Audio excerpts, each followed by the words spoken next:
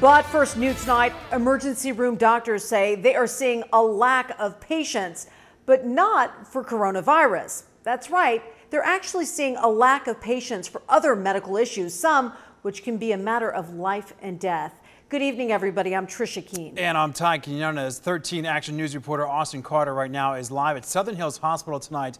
And Austin doctors right now, they are sounding the alarm about this. Yeah, Todd, they sure are. And you know, the narrative across the country really has been for everyone to stay home. And that's part of the reason that doctors believe they're seeing a decrease in patients needing to be treated for some serious things like strokes and heart attacks. In an emergency room, every minute counts. But if someone in need of immediate care doesn't come in quickly, it's a race against the clock. There are a lot of people who are staying home who probably should be in the emergency department. In the past month and a half, Southern Hills Hospital says they've seen an increase in people coming in with respiratory issues or COVID 19. However, they've seen a decrease in other serious conditions. We're not seeing a lot of people with chest pain. We're not seeing a lot of people with abdominal pain anymore.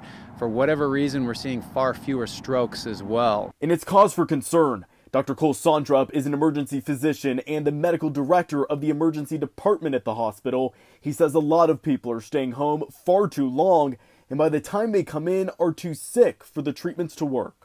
And in some cases, it means things are getting worse and they're not seeking emergency care until they absolutely need it, or, or in some cases, until it's too late. So, why is it happening? Dr. Sondrup believes it's tied to the fear of coming to the hospital, being in the ER, and possibly being around COVID 19. However, Dr. Sondrup says the hospital is one of the cleanest and safest places that you can go.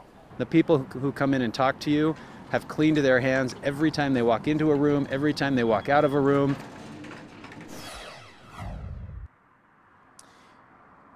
Yeah, and Dr. Sondrup really wanting to reverse that stigma. He said there have even been cases where folks have been experiencing chest pains for weeks. They then talk to their regular doctor virtually and then just try to stick it out at home, but then they end up inevitably showing up here trying to get treatment at the hospital. So he says your best bet if you are feeling sick, if you need that medical attention, to come on into the hospital. It is safe and clean. We're live at Southern Hills Hospital tonight. I'm Austin Carter, 13 Action News.